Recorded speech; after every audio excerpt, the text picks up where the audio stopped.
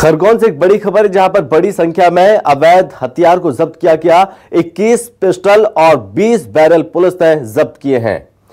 मुखबिर की सूचना पर आरोपी को गिरफ़्तार किया गया। हथियारों की तस्करी कर रहा था आरोपी।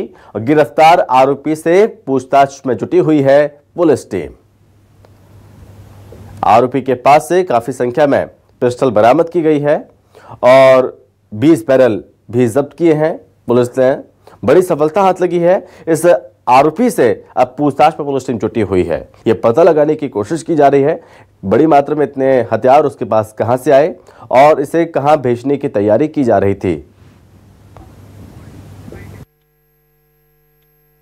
पुलिस ने थाना बेड़िया पे अवैध हथियारों के विरुद्ध एक बहुत ही बड़ी और प्रभावी कार्रवाई की है। अवैध हथियार, बैरल से करीब चार लाख अस्सी हज़ार का खरगोन पुलिस ने बरामद किया है।